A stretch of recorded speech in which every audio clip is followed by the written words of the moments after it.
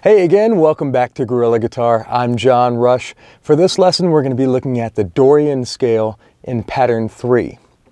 And so for this one, uh, we're going to be starting on the 7th fret, like we do with all our scales, uh, starting with the first finger on the 7th fret. So look at your diagram there and you'll see what I'm talking about.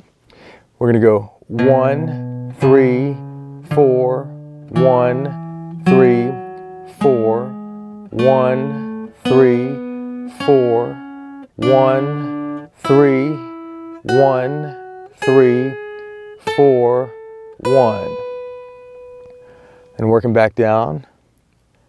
One, four, three, one, three, one, four, three, one, four, three, one, four, three, one.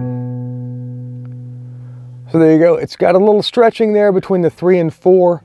Um, one thing to remember on this one is your third finger is playing every time. So that helps you kind of remember where you are in that. Uh, your first finger and your third finger are playing every time, um, you know, on every string. So uh, work on that, get comfortable with it, and then once you get it, we can move on to the next one.